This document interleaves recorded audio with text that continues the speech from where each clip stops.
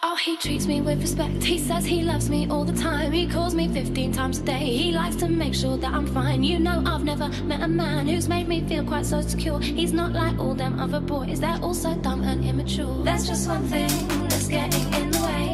When we go up to bed, you're just no good. It's such a shame. I look into your eyes. I want to get to know you. And then you make this noise and it's apparent oh, it's all over.